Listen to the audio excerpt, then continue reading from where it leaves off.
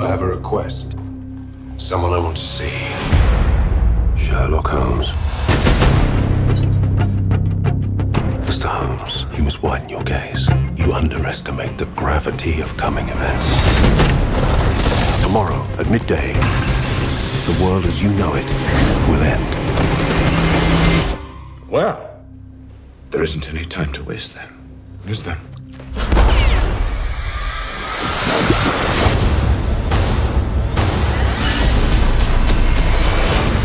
Witness stated that he saw Lord Blackwood rise from the grave. I want you to find him and stop him. That'll take every ounce of my not inconsiderable experience.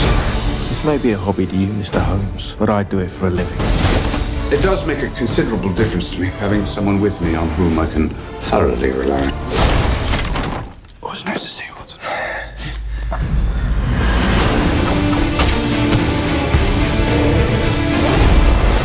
complained about my methods before? I never complain. When do I complain about you practicing the violin at three in the morning? Or your mess?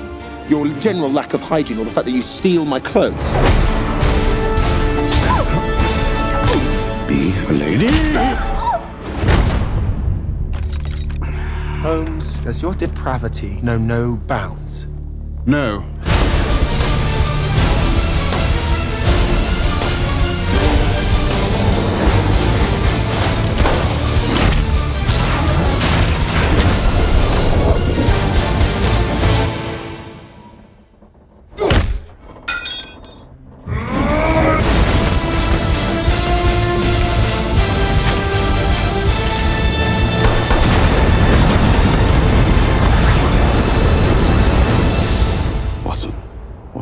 What have you done?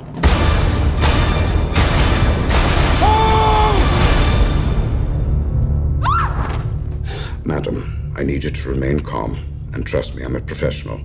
But beneath this pillow lies the key to my release. Oh.